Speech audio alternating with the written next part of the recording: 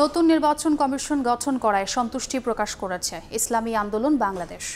দুপুরে রাজধানীর পুরানা পল্টনে সংবাদ সম্মেলনে দলটির মহাসচিব হাফেজ মালানা ইউনুস আহমদ বলেন, দলীয় নিয়োগ নীতি থেকে বেরিয়ে নিরপেক্ষ কমিশন গঠন করায় আশাবাদে ইসলামী আন্দোলন। যে নির্বাচন কমিশন গঠন হয়েছিল দলীয়ভাবে, এবার যেহেতু নিরপেক্ষভাবে গঠন হয়েছে, এবার আশা করা যায় একটা পরিবর্তন আসবে এবং বড় পরিবর্তন আসবে। যদি সফলতার প্রমাণ দেখাতে পারে ইসলামী আন্দোলন বাংলাদেশ পক্ষের থেকে, আমরা পুরোপুরি সহযোগিতা করব। যে আইনগুলো মানুষের মধ্যে হতাশা বৃদ্ধি করবে, নির্বাচন ব্যবস্থা বিঘ্নিত হবে, সেখানে একটা সংস্কার আসতেই পারে, আসলে ভালো হয়।